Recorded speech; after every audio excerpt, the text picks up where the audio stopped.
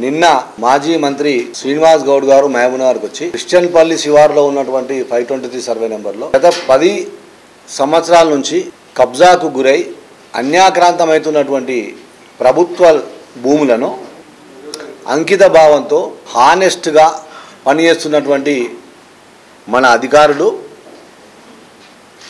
పూర్తిగా విచారించి అక్రమ కట్టడాలను తేలిన తర్వాత ప్రభుత్వ భూములను కాపాడే బాధ్యతలో భాగంగా ఆ బాధ్యత నిర్వహణలో భాగంగా అక్రమ కట్టడాలన్నింటినీ కూడా నిర్మూలించడం జరిగింది. డిమాలిషన్ చేయడం జరిగింది. దానికి నిన్న శ్రీనివాస్ గౌడ్ వచ్చి ఒకలేడుపుడు ఏడ్చి అక్కడున్నటువంటి ప్రజలను ఈ ప్రభుత్వ భూమిను మీరు ఇట్లనే కబ్జా పెట్టండి మీరు ఇన్నే గుడిసెలేయండి వాళ్ళు మళ్ళీ వెళ్ళగొడితే మళ్ళీ వేయండి నేను చూసుకుంటా అని చెప్తుంది ఇవాళ నేను మాజీ మంత్రి శ్రీనివాస్ గౌడ్కు సూటిగా అడుగుతున్నాను నీకేమైనా సిగ్గు లజ్జ శరం ఏమైనా ఉందా? పదేళ్ళు నీ పరిపాలన మళ్ళీ ఈ అన్- ఈ అనాథలు ఈ వికలాంగులు ఈ రెండు కళ్ళు లేనటువంటి వాళ్ళు నేను చూపించావు కదా వాళ్ళందరినీ కనబడలేదా? అధికారం పోయినాక కనబడుతున్నారా? లేకపోతే ప్రజలందరూ పిచ్చోళ్ళు అనుకుంటున్నావా?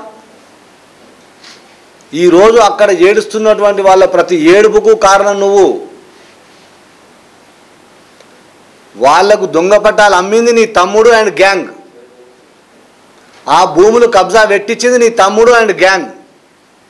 నీ బలంతోనే అక్కడ అన్ని కబ్జాలు జరిగినాయి. ఇది ఒక్కటే కాదు ఈ మామినార్ నియోజకవర్గంలో ప్రభుత్వ భూముల అన్యాక్రాంతానికి ఏవన్ నువ్వు. నీ నాయకత్వంలోనే ఇన్ని కబ్జాలు జరిగినాయి ఇన్ని అన్యాక్రాంతాలు అయినాయి. దీన్ని ఇప్పుడు కాంగ్రెస్ ప్రభుత్వం వచ్చిన తర్వాత ఎన్ఎం శ్రీనివాసరెడ్డి గారి నాయకత్వంలో ఒక ప్రక్షాళన జరుగుతూ ఉంది. మేము ఎన్నికల వాగ్దానంలో ఏదైతే ఇందిరమ్మ ఇల్లుకు కట్టిస్తామన్నామో దానికి మేము కట్టుబడి ఉన్నాం. నిజమైనటువంటి పేదలకు ఇందిరమ్మ ఇల్లు ఇస్తాం తప్పకుండా. ఇవాళ నిన్న ప్రజల ముందర ఏదో ఓగలేడుపులు ఏడుచుకుంటూ వాళ్ళ దగ్గర ఏదో సింపతి గేమ్ చేయడానికి మాట్లాడినావు కదా? వీళ్ళకి పట్టాలు ఉన్నాయి. ఇది కాంగ్రెస్ ప్రభుత్వాలనే ఇచ్చిండ్రు. అన్నావు కదా? ఒకవేళ నీకు అంత నమ్మకం ఉంటే ఒక దరఖాస్తు పెట్టు. ఈ పట్టా జెన్యున్ పట్టా అని చెప్పి. ఒకవేళ జెన్యున్ కాకపోతే కేసు మరి నీ మీద కూడా అవుతుంది. ఆ ప్రాంతంలో దొంగ పట్టాలు ఇచ్చింది మీ తమ్ముడు అండ్ గ్యాంగ్ కబ్జాలు చేపించింది మీ తమ్ముడు అండ్ గ్యాంగ్ నిర్మాణాలు చేపించింది మీ తమ్ముడు అండ్ గ్యాంగ్ ఇవాళ మాట్లాడుతున్న మీటర్లు ఉన్నాయి. ఆ మీటర్ల కొరకు అనల్లాల కొరకు మీ మీ నీ అధికారాన్ని దుర్వినియోగం చేస్తూ నీ అధికారాన్ని వాడుకొని నీ అనుచరులు అధికారులపైన ఒత్తిడి చేసి అక్రమంగా జరిగినటువంటి వ్యవహారం అదంతా. ఇవాళ అధికారులు గొప్ప ప్రక్షాళనకు అడుగు పెడితే ఇవాళ మహబూబ్నగర్ నియోజకవర్గంలో కాదు మొత్తం జిల్లాలో అందరు అధికారులను మెచ్చుకుంటున్నారు. ప్రశంసలు కురిపిస్తూ ఉన్నారు అధికారులపైన నీవు నీ రాజకీయ లబ్ధి కోసం శవాల మీద పేలాదెడుకునే రకంలో భాగంగా ఇవాళ వచ్చి ప్రభుత్వాన్ని విమర్శిస్తావు అధికారులను విమర్శిస్తావు. కొంచెమైనా బుద్ధి ఉండాలి శ్రీనివాస్ గౌడ్ నీకు. ఒకసారి చూడు మా హాయంలో అధికారులు ఎట్లా పనిచేస్తున్నారో. నీ హాయంలో కలెక్టర్ల కారు నుంచి అందరు వచ్చి నీ కారు డోర్ దీనికని సరిపోయింది. ఇవాళ చూడు మా హాయంలో కలెక్టర్ గారి దగ్గరికి పో చూడు. సాయంత్రం ఏడు గంటలైనా సరే అందరినీ వచ్చినటువంటి ప్రజల ప్రతి విజ్ఞప్తిని విని ఓపికతో విని పరిష్కార మార్గం వెతుకుతా ఉంది కలెక్టర్. ఇవాళ అహర్నిశలు పనిచేస్తున్నారు. ఇద్దరు కూడా జిల్లా హెడ్స్. అటెండర్ దగ్గర నుంచి కలెక్టర్ వరకు ఎంత చక్కగా పనిచేస్తున్నారు ఇవాళ. అందరికీ ఫ్రీడమ్ ఇచ్చింది ఈ పార్టీ ఈ అధికారం ఈ అధికార పార్టీ. ఎవరి పని వాళ్ళు చేసుకుంటున్నారు? వాళ్ళ పనిలో భాగంగా వాళ్ళ డ్యూటీలో భాగంగా నీతిగా నిజాయితీగా ప్రభుత్వ ఆస్తులను కాపాడడానికి అటు ముఖ్యమంత్రి గారు చూపించినటువంటి దిశానిర్దేశంలో జిల్లా మొత్తం రాష్ట్రం మొత్తం ప్రయాణం చేస్తూ ఉంటే వాళ్ళ ప్రక్షాళన చేస్తూ ఉంటే నీవు ఓర్వక చూడలేక అబద్ధం మాటలు చెప్పి ఆ ప్రజలను మోసం చేసే ప్రయత్నం చేస్తా ఉన్నావు ఆ ప్రజల ముందర ఏదో మార్కులు కొట్టే ప్రయత్నం చేస్తావు ఇది మానుకోవాలని సీరియస్గా హెచ్చరిస్తా ఉన్నా శ్రీనివాస్ గౌడ్. నువ్వు ఏ అసలు ఈ పట్టాలే కాదు డబల్ బెడ్రూమ్లు అమ్ముకోలేదా నువ్వు? నీ బండ్ల డెస్క్లో పెట్టుకొని ఏడ పడతాడు ఎవరికి పడతాడు రాసి ఇవ్వలేదా అధికారులను ఒత్తిడి చేసి ఎంటీ పట్ట సర్టిఫికేట్ల మీద సంతకాలు తీసుకోలేదా? ఇన్ని తప్పులు చేసి ఇన్ని అవినీతులు చేసి ఇన్ని అక్రమాలు చేసి ఇంత అధికారాన్ని దుర్వినియోగం చేసి సిగ్గు శరం లేకుండా మళ్ళీ వచ్చి నీతులు వల్లిస్తున్నావు? మహమనార్ ప్రజలు పిచ్చోళ్ళు కాదు వాళ్ళ ఉసురు తగులుతుంది ఉసురు ఉసురు తలిగే నీ వీడికి వచ్చినావు నువ్వు ఆపోజిషన్లోకి వచ్చినావు. వాళ్ళందరి ఉసురు తలిగే ఆడకొచ్చినావు రెండు లక్షలకు మూడు లక్షలకు డబల్ బెడ్రూమ్ అమ్ముకున్న నువ్వు నీ తమ్ముడు మీ మీ గ్యాంగులు కావా? నీ హాయంలో కాదా? రెండు మూడు పోలీస్ స్టేషన్లో పది కేసులు అయినాయి. అక్రమంగా మా వాళ్ళ మీద ఒక కేసులు పెడితే అది అక్రమ కేసులు అని చెప్పి తీసేసారు మా కేసులు. నీ అధికారాన్ని ఉపయోగించుకొని అమ్ముకుంటుంటే లాస్ట్కు నీ దగ్గర పనిచేసే ఒక అధికారి కొడుకు బలే కదా? ఏం ముఖం పెట్టుకొని మాట్లాడతావు దీని గురించి? ప్రజలకందరికీ మహమ్నార్ ప్రజలకందరికీ కాంగ్రెస్ పార్టీ తరఫున అధికార పార్టీ తరఫున చేతులు జోడించి నమస్కరిస్తూ వేడుకుంటున్న అర్థం చేసుకోండి. ఎన్ఎం శ్రీనివాసరెడ్డి గారి నాయకత్వంలో ఈ మహబూబ్నగర్లో రేవంత్ రెడ్డి గారి నాయకత్వంలో గౌరవ ముఖ్యమంత్రి రేవంత్ రెడ్డి గారి నాయకత్వంలో ఈ రాష్ట్రంలో ప్రభుత్వ ఆస్తులను ప్రభుత్వ భూములను కాపాడే ప్రయత్నం జరుగుతూ ఉంది. ఒక ప్రక్షాళన జరుగుతూ ఉంది. ఒక యుద్ధం జరుగుతూ ఉంది. అర్థం చేసుకోవాలి. సహకరించాలి. అధికారులకు కానీ నాయకులకు కానీ మీరందరూ సహకరించాలి. అసలు ఎనభై ఆరు ఎకరాల పైచిలుకున్నటువంటి ఫైవ్ ట్వంటీ త్రీలో గత కాంగ్రెస్ ప్రభుత్వం పదమూడు వందల పైచిలకు పట్టా సర్టిఫికేట్లు నిరుపేదలకు ఇచ్చింది. మరి ఆ పట్టా సర్టిఫికేట్లు అన్నీ నాకు మళ్ళీ మళ్ళీ నీకు సిగ్గు లేదా సిగ్గు లేదా అని అడగడానికి నాకే సిగ్గు అవుతుంది ఆ పదమూడు వందల పట్టా సర్టిఫికేట్లను అధికారుల కలెక్టర్ని అడ్డం పెట్టుకొని ఆ రోజుల్లో మీ టీఆర్ఎస్ ప్రభుత్వం నువ్వు కాదా వాపస్ తీసుకున్నది? డబుల్ బెడ్రూమ్లు అందరికి ఇస్తామని చెప్పి ఆ పట్టా సర్టిఫికేట్ వాపస్ తీసుకున్న చీటరు నువ్వు కాదా? నీ ప్రభుత్వం కాదా?